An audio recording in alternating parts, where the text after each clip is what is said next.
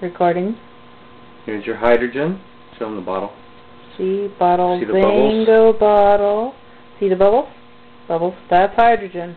Coming out of here. Coming out of the tube. We had to use coming, both of these because they're both half dead. Coming out of the thermos. You see our thermos? We had to use two power sources. Okay, are you ready? Yeah, but your hand is in the way. Here we go. Okay. Now let me do it from the side. Yeah, do it from the other side. Alright, here we go.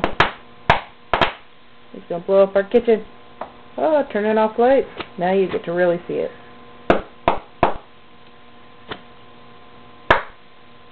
Keeps blowing up the... Just to give you an idea. I wish I had a long lighter. I think we're running out of battery power here in a little bit. I can Woo! tell you how strong hydrogen is. And it's truly producing the real stuff. So, there you go again. A use for the Zengo bottle, a bubbler. And down to the canister. Perfect. Which And working. is it still working there. Yeah. Okay. Let me Oh, unplug yes, this. Jeff wants to show You you the recording? innards. I'm still recording.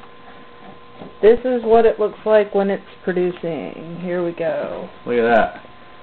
Looky there. Looks like a fizzy soda pop. Now you undo it here. Turn it off.